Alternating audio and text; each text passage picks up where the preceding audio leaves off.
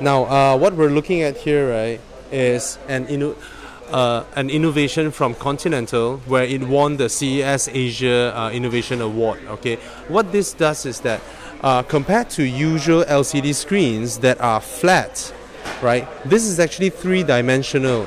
So the, the very concept of this is that to turn, you see, back then we have analog dials, right? Analog dials have a sense of depth. So you look at Audi's dial, they have the, the dials that are mounted on the front and they have other things mounted in there.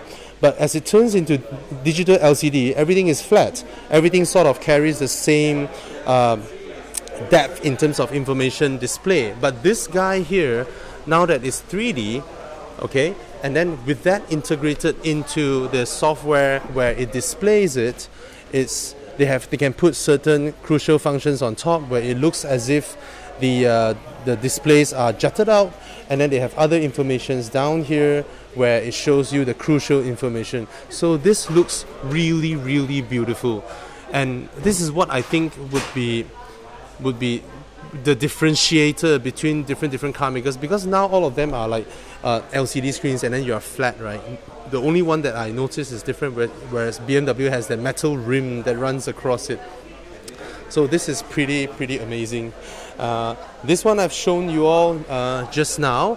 This one is for safety reasons. They integrated uh, gesture controls. So, for example, you when you are on your uh, when your touchscreen, right, you want to navigate another function, you need to look for the button, right? But instead of looking for the button, you can actually use gestures and then it will jump to where you want to go.